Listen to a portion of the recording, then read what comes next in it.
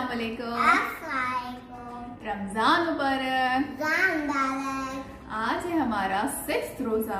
Six रोजा। और आज हम एक हदीस सीखेंगे जो कि है रमज़ान के बारे में और रोजेदारों के बारे में। रोजा कहाँ रखते हैं हम? इधर। इधर रखते हैं।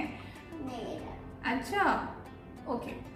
तो जो रोजा रखते रोजा रखते हैं तो हमें उसका कितना सवाब मिलता है? क्योंकि ये अल्लाह ताला ने कहा है कि रोजा रखना चाहिए और रोजा मेरे लिए है।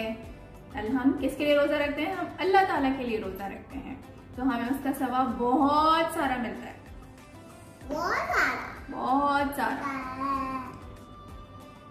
तो जब हम रोज़ा रखते हैं और सबसे इंपॉर्टेंट जब हम किसी और रोज़ेदार को रोज़ा अफ्तार कराते हैं, यानी कि हम उसके लिए अफ्तारी का सामान प्रोवाइड करते हैं तो हमें उतना ही सवाब मिलता है जितना हमें रोज़ा रख के मिलता है।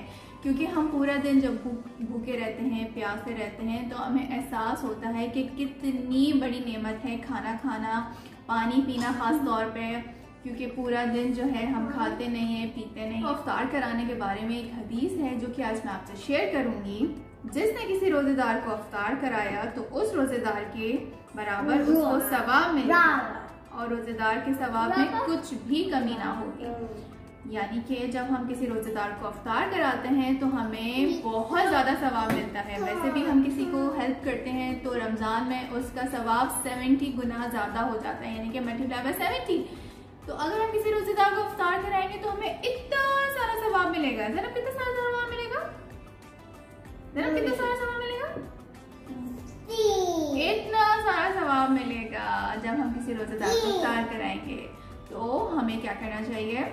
हमें खाना बनाना चाहिए और हम्म, और देखना चाहिए कि कौन है हकदार यानी कि जो खाना अफोर्ड नहीं कर सकते या जिनके पास रोज़ अच्छा खाना खाने को नहीं है।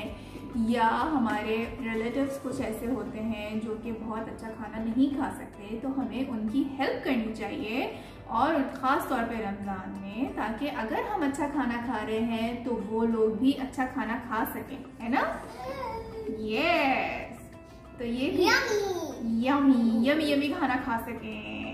और और अल्हम्दुलिल्लाह कह सकें। फ्रूट्स भी खा सकें। ये हाथ से खाते ये थी आज की हदीस और उम्मीद है कि आपको याद रहेगा कि इस रमज़ान आपने क्या करना है। शेयरिंग करनी है। Sharing toy.